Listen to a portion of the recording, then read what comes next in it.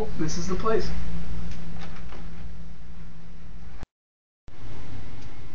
Oh, hello, you must be Miss Robbins?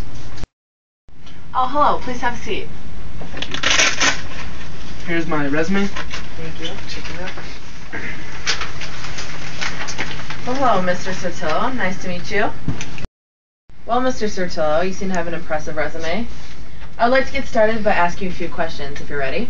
Um, first one, can you just tell me a little bit about yourself, please? Well, uh, I um, I go to Bettendorf High School, where I, I participate in activities such as uh, basketball and soccer. I, I was on the uh, varsity team. Sporting activities, but I'm also pretty involved in compu- uh, community. Okay. Do some community service hours as well. Good. Uh, what do you know about our company so far? Well, I know Hy-Vee is a uh, it's a prestigious company.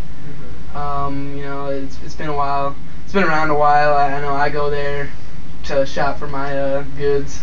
I know a lot of other people. Besides what you've already said about our company, uh, what else interests you in this job? Well, uh, I really like being involved in the uh, community. You know, I love to interact with people, and uh, I feel like this is a great opportunity to do that. You know, I, I think I, I do well at that. I, I can talk to people very well. So, you know, I, I feel like this job would fit me perfectly. Very good. Um, if you don't mind me asking, what is your GPA? Uh, through high school, I've, I've obtained around a 3.6 GPA, 3.7. So I've, I've been working hard in the classroom, um, trying to do my best and hopefully get me into a good college. So, with a GPA like that, uh, do you plan to further your education?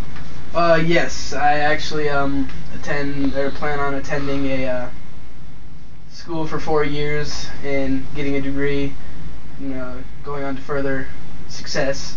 I'd also like to play uh, basketball in college, so Cool. whatever. It's very exciting. Uh, from this job, what starting salary do you expect? Um, I I would uh be totally okay with a minimum wage to start, and uh, you know, work my way up, and have to earn uh, earn my uh, way through the rankings. Okay. Okay. Well, I'm very impressed with your resume and what you've said so far. Uh, do you have any questions for me?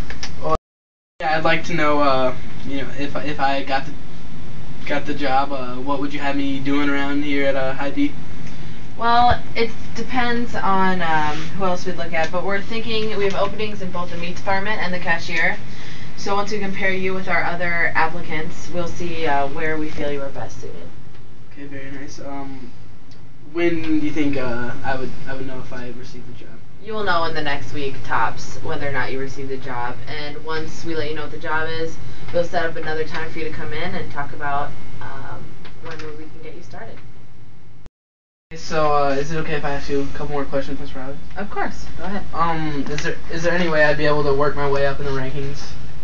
Yes, definitely. Um, the longer you work here, obviously, the more um, rank you can pull, and the based on the job you perform, will um, decide whether or not we decide to give you a uh, promotion.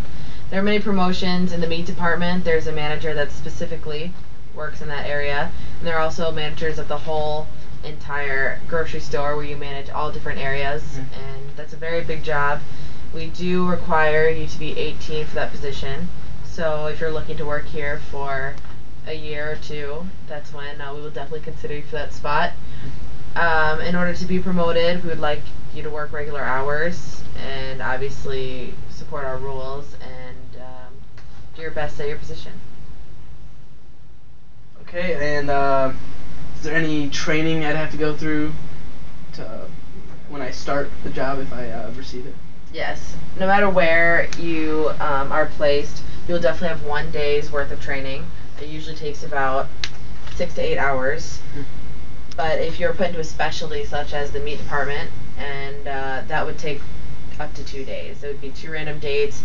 We would uh, definitely contact you, let you know these dates in advance, and you would come in for two days just to learn everything so you're not uh, shocked when we put you on the job. Well, uh, that's all I got for you. Is there any other questions you have? No, I think I've heard and seen it all. Alrighty. Thank you very much. Thank have a good day.